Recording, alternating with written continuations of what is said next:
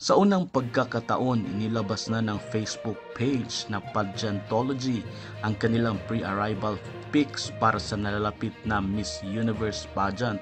Ito ang top 20 na pumasok sa kanilang radar.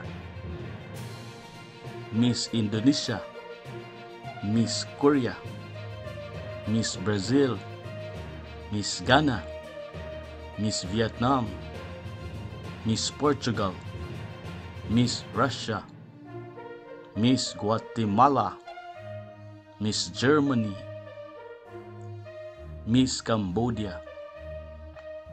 Para naman sa kanilang top 10, pasok sa banga si Miss Ukraine, Miss Puerto Rico, Miss Venezuela, Miss Thailand at Miss Jamaica.